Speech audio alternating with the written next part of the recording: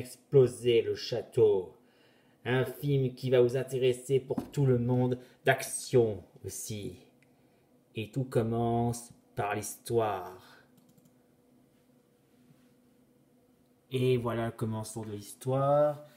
Que le voici. Le château que vous voyez ici, c'est muraille. Et il va commencer, commencer à exploser, bien sûr. Mais voilà, le roi et la reine refusent de quitter.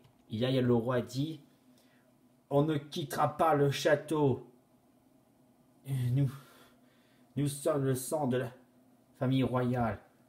Vous devez nous obéir. Il veut, en plus, veut nous obéir les ordres.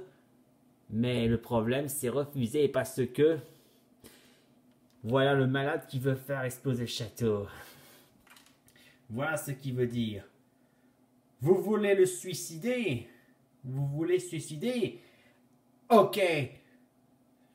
Je vais tout péter. Voilà, le malade va faire exploser le château avec euh, des explosions de crime. Et hop, bam